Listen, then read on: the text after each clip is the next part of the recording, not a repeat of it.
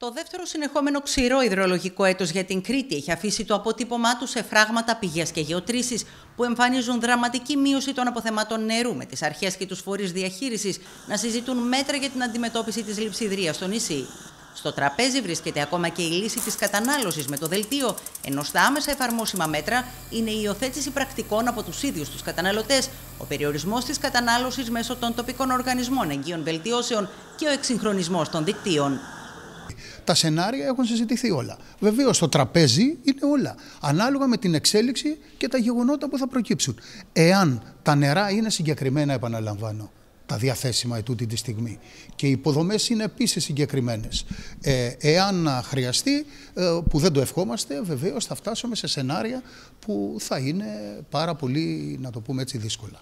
Στο επίκεντρο βρέθηκε η ορθολογική διαχείριση του νερού άρδευσης, καθώς παρατηρείται αλόγιστη χρήση και επιπλέον καταγράφονται φαινόμενα κλοπής νερού για τα οποία αναμένεται να ενεργοποιηθούν μηχανισμοί ελέγχων και επιβολής προστήμων. Ήδη οι ΤΟΕΒ έχουν ορίσει πλαφών κατανάλωσης και σε ορισμένες περιπτώσεις έχουν προβεί σε διακοπή της παροχής νερού. Ε, αντιλαμβάνεται ο καθένας πλέον και πρέπει να το επικοινωνήσουμε πιο πολύ ε, στο πώς θα πρέπει και εμείς ως ιδιώτες στο ιδρευτικό κομμάτι αλλά και οι αγρότες στο αρδευτικό να το χρησιμοποιούμε το νερό λίγο πιο λελογισμένα ε, και σε δεύτερο χρόνο και νομίζω αυτό είναι το πλέον σημαντικό από πλευράς της πολιτείας να προχωρήσουν τα έργα ε, τα οποία είναι σε εκκρεμότητα. Για παράδειγμα, το, το φράγμα Ταυρονίτη, το οποίο από ό,τι φαίνεται το 2024 θα έχουμε και τον ανάδοχο. Η εικόνα στα φράγματα της Κρήτης είναι απογοητευτική, με τη μεγαλύτερη μείωση αποθεμάτων να εμφανίζει το φράγμα του από Σελέμη. Στο φράγμα από Σελέμη που υδρεύει Ηράκλειο, Χερσόνησο, Άγιο Νικόλαο και που η χωρητικότητά του είναι 25,3 ε, εκατομμύρια κυβικών, σήμερα έχει 5,8 εκατομμύρια κυβικά. Φανταζόμαστε λοιπόν το τι δυσκολίες έχουμε και το πόσο προσεκτικοί πρέπει να είμαστε όλοι. Η περιοχή δεν έχει πλέον νερό καθόλου να κινηθεί. Τα λιβάδια, η αμυγδαλοκεφάλη, δεν υπάρχει καθόλου νερό. Από αύριο θα κουβαλούμε με βιτίο. Πώς, πώς θα αντέξει, πώς θα γεννεί. Δεν γίνεται. Λοιπόν, το ίδιο πρόβλημα έχει ακριβώς η περιοχή Πλατάνου, Γραμβού, Αντουσακιών.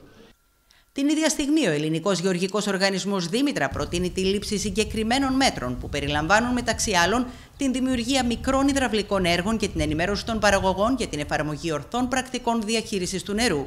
Υπάρχουν τεχνικές αγρονομικές που θα μπορούσαν να βελτιώσουν την αντοχή των καλλιεργιών. Και το τελευταίο, πολύ σημαντικό, είναι η ευφυή άρδευση, δηλαδή τεχνικές ε, που θα μπορούσαν οι παραγωγοί να ενημερωθούν πώς να χρησιμοποιήσουν αυτές τις τεχνικές στο χωράφι τους, έτσι ώστε να κάνουν πιο αποδοτική τη χρήση του νερού και να ε, εξασφαλίσουν φυσικά και οικονομία νερού αλλά και βέλτιστη παραγωγή. Στη διάρκεια της σύσκεψης, ο Αντιπεριφερειάρχης Χανίων Νίκος Καλογερής μίλησε για περιπτώσεις παράνομης άντλησης νερού από φράγματα που θέτουν σε κίνδυνο τις ίδιες τις υποδομές και τόνισε την ανάγκη καθιέρωσης σωστών πρακτικών.